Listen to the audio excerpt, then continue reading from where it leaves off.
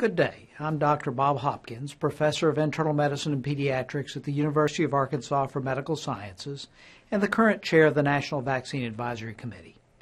During the September 2022 National Vaccine Advisory Committee meeting, the committee unanimously approved a report on sustaining and increasing confidence in vaccination across the lifespan. In this report, the committee made 25 recommendations to improve vaccine confidence and respond to threats which increase vaccine hesitancy.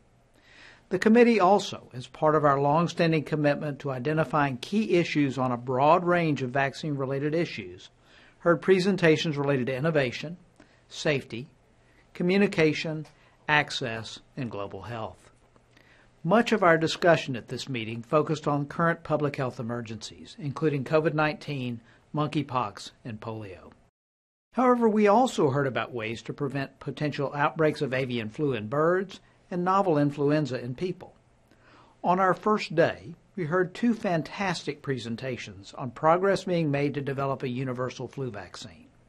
We hosted another panel that demonstrated reduction of risks for both Alzheimer's and Parkinson's disease in patients vaccinated to prevent influenza, pneumococcal disease, and shingles.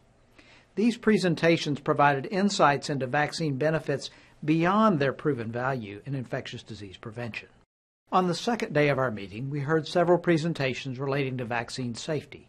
This ranged from innovation to research reviews to an evidence evaluation to tie into our efforts to respond to the Assistant Secretary's charge to develop a report on further enhancing vaccine safety.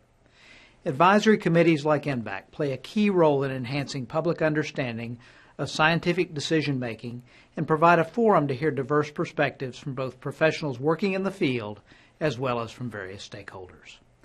Our session on rural immunization is one example of this. For more information about NVAC membership and activities, visit www.hhs.gov forward slash vaccines forward slash NVAC. Thank you for your time. Produced by the U.S. Department of Health and Human Services.